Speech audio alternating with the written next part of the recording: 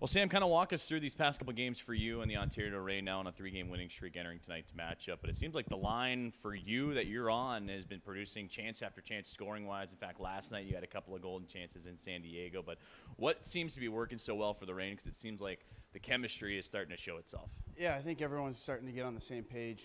Uh, you know, early in those first six games, you know, where guys are kind of trying to do their own things, myself included, uh, not sticking to the systems. I think everyone's starting to buy back into – you know what what needs to happen in order to get a win. And uh, you know it's been shown off in three wins. Obviously, you know we have played well in those six game stretch, a couple games, and obviously didn't get the outcome we needed. So we stayed patient, and now it's paying off.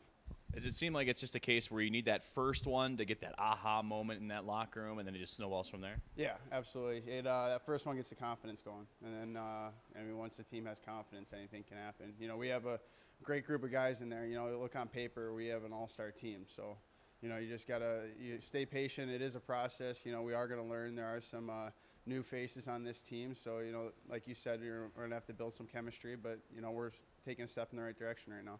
And then going into tonight, round two of the SoCal series. I know you're gonna see this team a lot, but. Uh, last night was a fun one, to say the least. You win by the slimmest of margins you can in a, in a regulation game, blood nothing. But uh, what did you see in this series so far that's going to get amped up uh, here tonight?